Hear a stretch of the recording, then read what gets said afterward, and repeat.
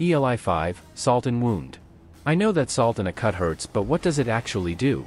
I've tried looking it up online but if I have to read the word ion one more time I'ma scream. I understand that the people responding to the question online are trying to help but please use easy to understand words. I'd prefer not to use a dictionary the entire time I'm reading the answer. Well, the way that pain receptors tell the brain that they're experiencing pain is by sending signals up channels to the brain. These channels are based on salt, the sodium ions you love so much. When you cut or otherwise break through the skin, these receptors and their channels now lie exposed. If you put salt in them, you basically flood those pain channels, as it can't tell the difference between the salt your pain receptor generated, and the salt that just got rubbed in.